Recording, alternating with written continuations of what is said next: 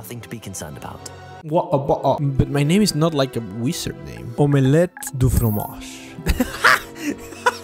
That's a great name.